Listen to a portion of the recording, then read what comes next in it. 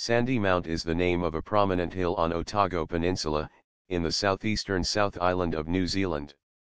It is 13 kilometers east of the city center of Dunedin, close to the northeastern end of Sandfly Bay, and rises to a height of 312 meters.